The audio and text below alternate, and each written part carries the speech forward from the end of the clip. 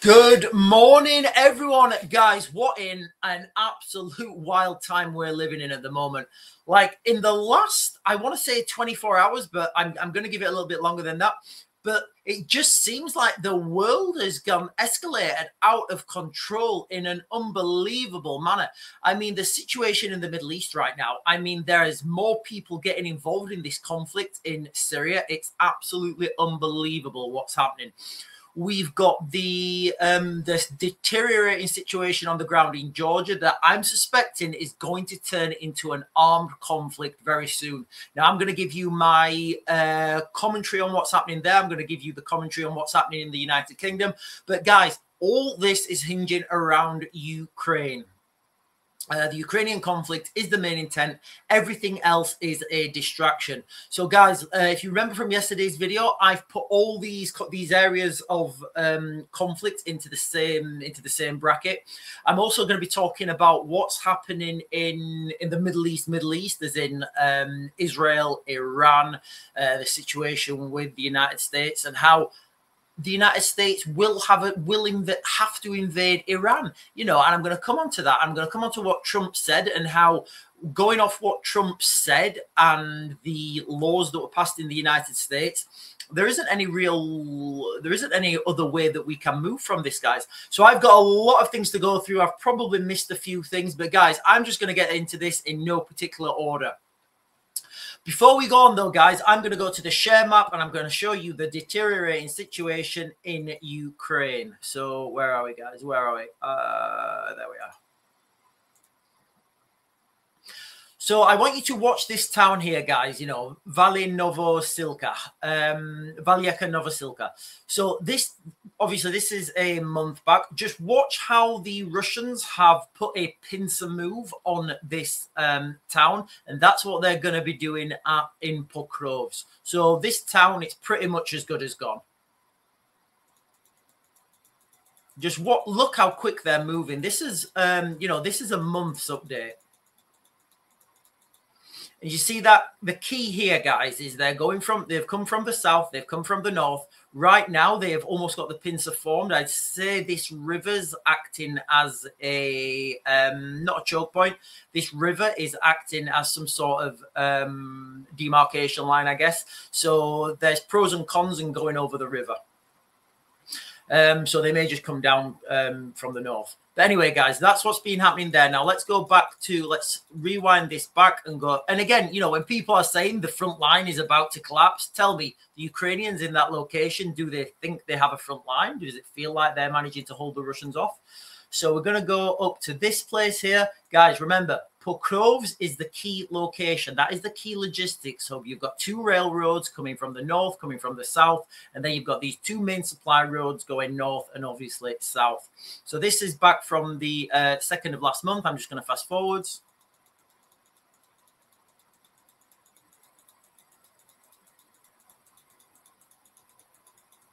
And again, you can see the use of rivers, the use of features. They're stopping here at 10 o'clock. Remember, uh, Pokrovs, it's a fortress. They call it a city, but if it was in Western Europe, it'd be a town.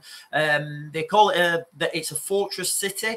There's a lot of um, resistance coming from that location. So I would say there's a lot of indirect fire. That's why these guys are going a lot slower than the other guys that down in the south.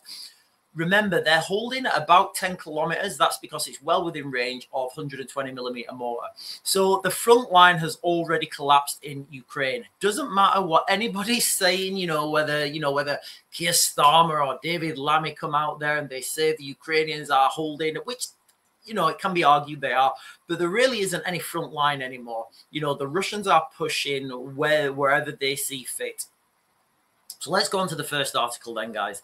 So I will share this. I'm not going to share all the articles, but I will put all the articles in the description for you guys. So this first article, it's really key because it shows you there's been a change of tact.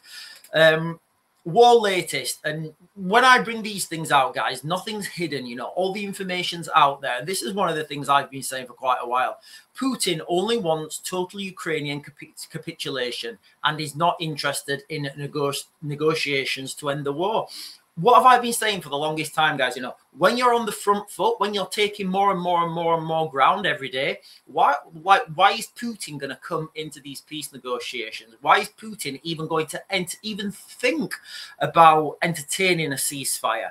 You know, he's not. As far as Putin's concerned, he's on the front foot. He's winning. He's taking more and more ground, and it's not just Ukraine that he's defeated in conceptually it's not just Ukraine that he's defeated.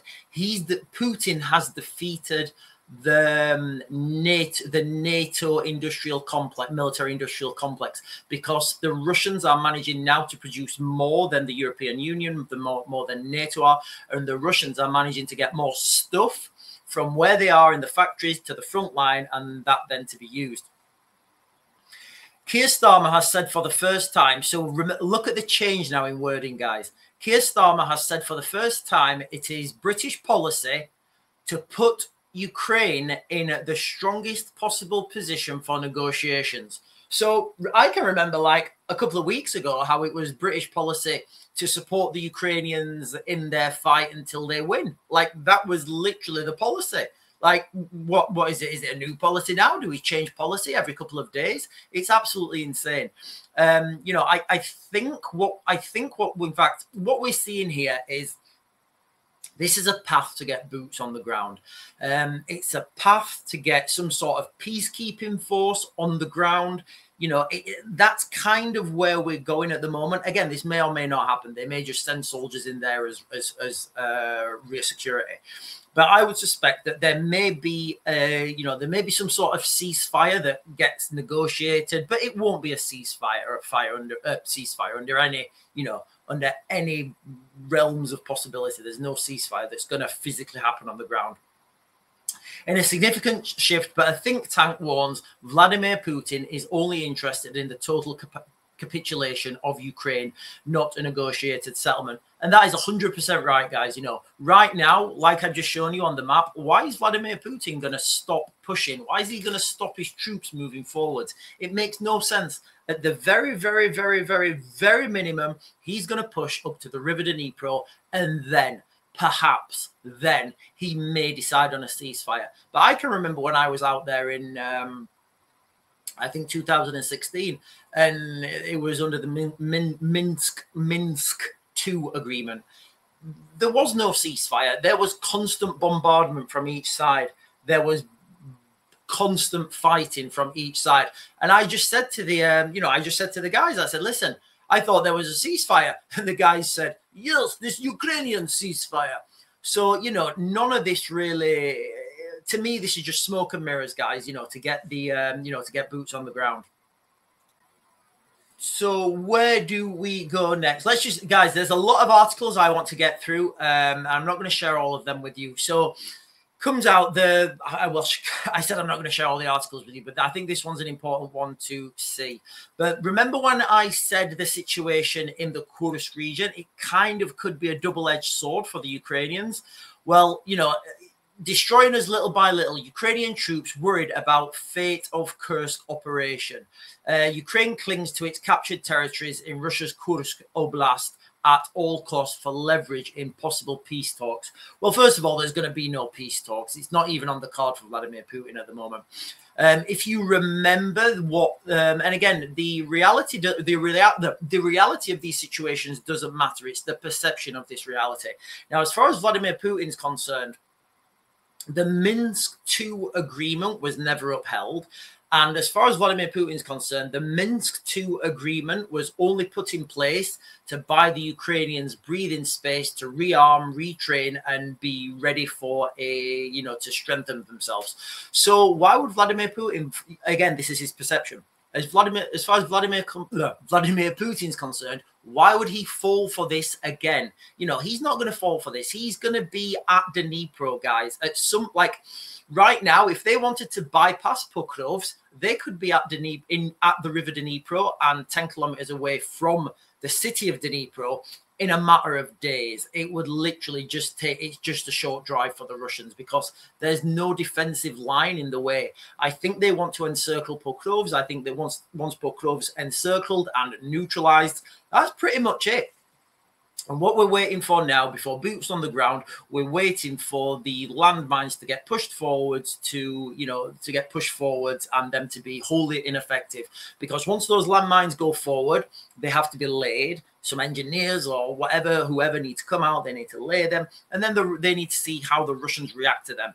The Russians aren't going to care. The Russians will push through these. There's so many things that can go wrong in this scenario you know how many landmines realistically do you uh, can you fit in you know do, are you going to be able to give to the ukrainians like you've seen the size of the front line it's absolutely huge I would say in the Ukrainian um, decision making centers, they're looking at a real time situation where they're going to have to concede and they're going to have to say, right, we need to pull all our troops back behind the River Dnipro.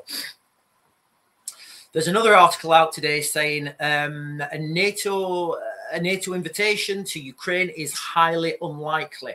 Now, I've said this all along. It's very clear in the NATO. I, I don't know what it would call uh, the NATO joining instructions. I guess you know if you want to join NATO, you cannot be in conflict. It's very clear. Now, I'm not saying that there shouldn't be, I'm certainly not saying there should. What I'm saying is you can't join that club if the rules of the club state that you can't be in war and you're in a war, you know, because then that's not that club, is it? It's something else. It has to be another agreement, it has to be another pact. For those of you who've watched my videos for a while, guys, you know, I've been saying that NATO's over, it's finished, it's not worth the paper it's written on. It's just, you know, it's, it, it's, it's, it's obsolete. NATO's obsolete.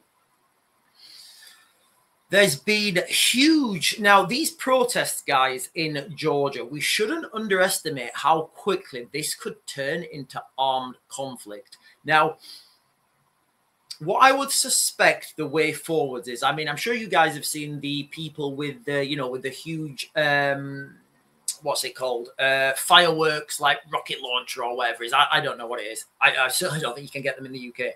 Um, but you've seen this, and all it's going to take is for some Georgian official, somebody in like Georgian security forces, to feel scared, to feel their life is under threat, and open fire. Once that happens, guys, and you see a protester, you know, well, whatever happens when that sort of stuff happens, you know, once that happens, I would suspect heavily that this is going to turn from wild protesting into armed conflict. Now, this could happen really, really quickly. It happened really quickly in Ukraine. And, you know, when I give these um, estimates to you guys, people are asking for times and time and when's it going to happen? When's it going to happen? It's very difficult at the moment because there's so much stuff happening. Like this, what, what was what was happening in Syria, which we'll come on to shortly. I did not see that coming. What's happening in Georgia, did not see that coming. You know, so when you look at these things, there's so many things that could flare up. These black swan events that catch people, you know, the catch people, um, catch people off guard. The situation in Georgia, guys, you know, in Tbilisi, that could turn into armed conflict really quickly. What people don't understand is the amount of munitions that are already in that region, the amount of missions that missions, munitions that could be smuggled, transported from the front line in Ukraine to the freedom fighters or to the to the protesters in um, Tbilisi who want closer ties with the European Union, and then you've got the government who want clo- who do not want closer ties to the European Union. Remember, the government in Georgia is heavily Russian leading, uh, leaning, and that stems back from the I think it was 2000 and I, I think I'm, I'm going to say August 2008 um, Russian invasion of Georgia. So now we've got the situation. We're going to switch back to uh, the Middle East, but not the Middle East proper. We've got the situation in Syria. And for those of you watching the video for the first time, I'm putting the conflict in Syria. I'm uh, bracketing that with um, Syria, Georgia, and Ukraine are all under the same bracket because Russia are kind of the ones not in control, but Russians are the ones with the perceived authority there in, in that region. What do I mean by that? I mean the uh, the Georgian government is Russian leading. The regime in Syria, uh, Assad's regime, is heavily propped up by the Russian military. And the situation in Ukraine, the Russians are the aggressor there, and the Russians are pushing forward. So this is all um, Russian um, Russian centric, I guess. So we've got Iran now sending troops to reinforce um, Bashar al-Assad and to reinforce the Russians. So now you've you've got this big military buildup in that region. Now I I'm really conscious about this, guys, because like in the like in Ukraine, where you know I've just talk, talked about, you could have a situation where the where these peacekeepers they go in initially as peacekeepers and then after the ceasefire doesn't hold well guess what? We've already got troops there. They've already got weapons. They've already got their logistics um, system set up. They've got everything set up that they would need. Right guys take your peacekeeping hats off and put your warfighting hats on.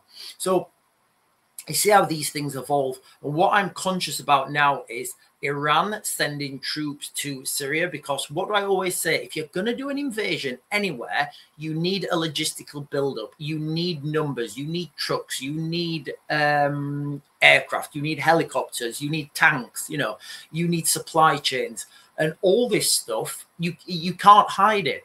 So if the Iranians, I think the Iraqis are sending troops as well. You've got a lot of people now sending troops to go and support the um, the Assad regime. Once those troops are there, what are they going to do? Are they going to turn on Israel because they're there? And well, you know what, guys, we're here anyway, so we might as well. So you can see how this thing could develop in that region.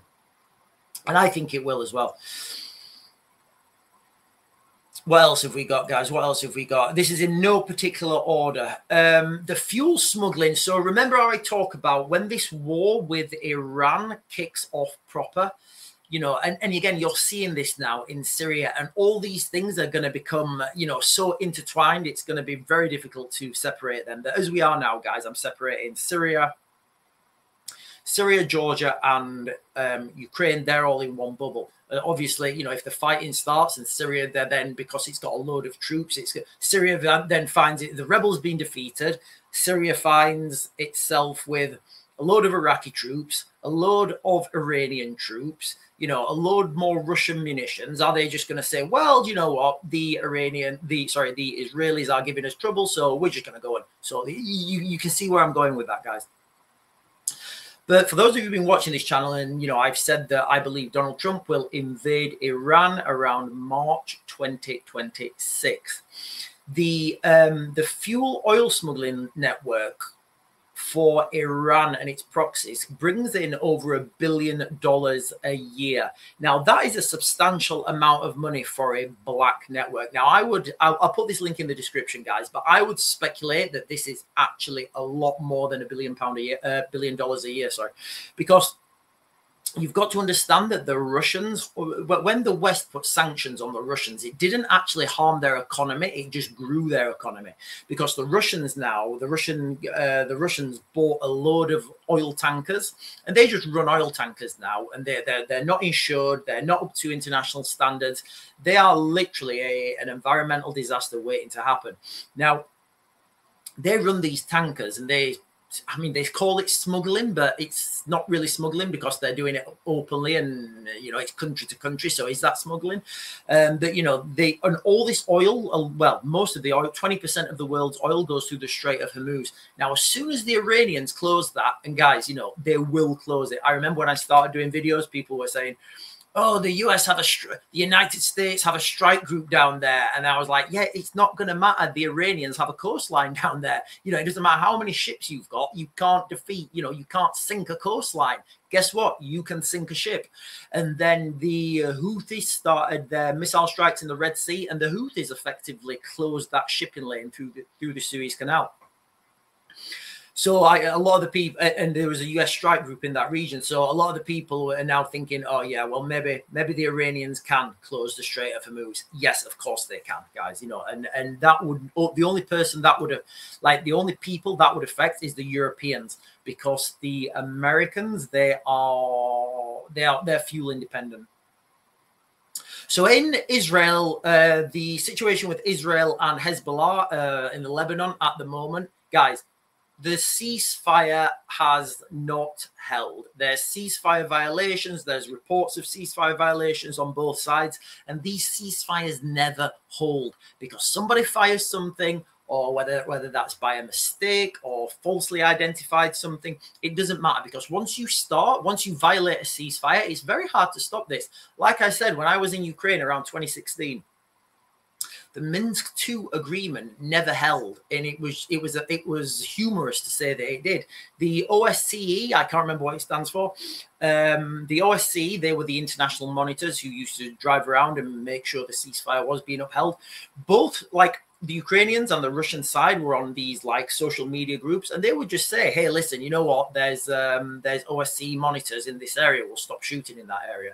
So that's how that Minsk agreement was able to be violated for so long. And you know, these ceasefires are not gonna hold. It may be all well and good telling people in the West that there's a ceasefire, but if you go out there and people are still bombarding each other, guess what? There is no ceasefire. Now, the biggest one of the biggest litmus, not litmus, the canary in the coal mine um, about why Trump will invade um, will invade Iran. First of all, let me share this with you guys real quick. Uh, where are So first of all, there's the House resolution that was signed that says that a nuclear-armed Iran is unacceptable to the United States and will take all, uh, all, will do everything necessary to stop that. So here we've got guys, you know, Donald Trump Trump says hell to pay if captives in Gaza not released. Threat of escalation comes amid reports Trump seeking Israel Hamas ceasefire before he takes uh, before he takes office in January. So what he's saying is, if the hostages are not released, there's going to be hell to pay. Now, guys, I can, I'm going to speculate here that these hostages will never be released. Why? Because unfortunately, I don't think they're being held anymore. If you guys know what I'm talking about, I think the hostage, the so-called hostages that they have, I would speculate that these are they, they, they've expired. You know, they're they're they're no longer with us. So it's all well and good, you know, but you know, Trump saying, look, we're gonna have a ceasefire, we're gonna sort everything out, just give us the hostages back, please, just give us the hostages back. And then Hez uh, sorry, and then Hamas saying, no, we're not giving you the hostages back because they can't because they don't have them. Otherwise, this would have happened before. So that's what I'm speculating. That's going to be the road forwards. That's what's going to happen in that, you know, in that scenario.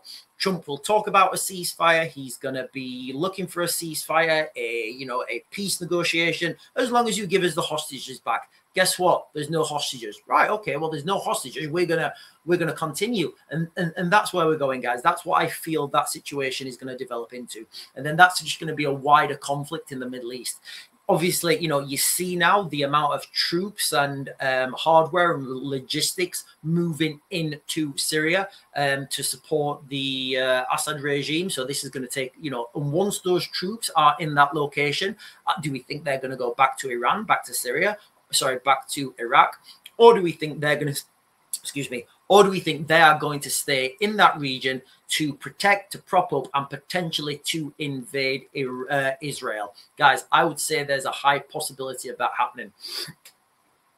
The MOD in the UK. So remember what I keep saying, guys. You know, these conflicts are going to be on an industrial scale. So it's not going to be the, the next conflicts. It's not going to be a situation where we've got, you know, special forces in you know in belt kit jumping off the back of helicopters and going going and detaining people in compounds and then getting picked up and flying off to do the next thing with high fives. This is going to be an industrial conflict. All that's going to matter is how much our factories can produce and how quickly we can get it to the front line in comparison to how much the bad guys can produce from their factories and get that to the front line. So it comes out today from, in fact, yesterday, um, an article from the Telegraph. I'll put all these links in the description, guys. MOD to war game: How military will main will will maintain weapons supply during war.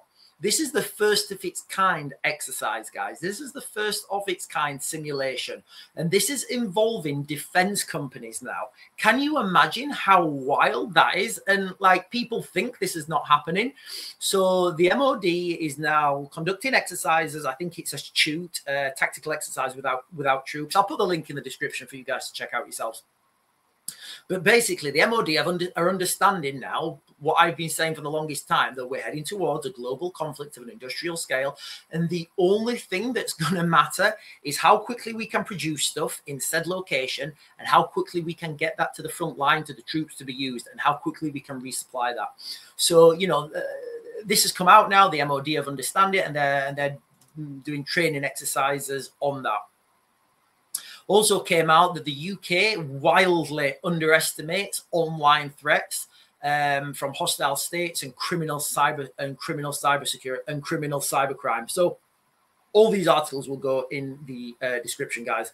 Um, it was reported that there were 430 cyber attacks over the last year, and that is up from 371 in the year previous. So, cyber attacks are happening more frequently. We are constantly under massive cyber attack. Remember, golden standard for um, golden standard for cyber attack is to attack financial systems because once you attack a financial system, that affects everyone. You know, it's to cause a banking run, it's to get people to pull their money out of banks, and it's to that in that context, you can slowly degrade somebody's economy. Once you've crashed the economy, they can't buy anything, and, and everything's up in the air. So the UK, you know, it's come out that is wildly, wildly unprepared for a cyber attack. And then the next article on the same day, MOD hit by major cyber attack, hundreds of staff passwords leaked. So you can see that this network of hacking, cybercrime, that doubled up with um, acts of physical sabotage. So now, you know, the cyber attackers have hundreds of MOD staff passwords and I'm going to assume usernames. So now they have these usernames and they have potentially their people's names. Uh, you know, maybe they're going to send agents in there to do certain things. I, I don't know. But you see how this network of deception, this network of grey warfare, this network of asymmetric warfare is being built up right under our noses, guys. And it's and it's absolutely wild. And then finally, I will put that I will share this guys real quick. Uh, it's kind of the same thing I just spoke about, but I think it words it better. Where are we? Where are we?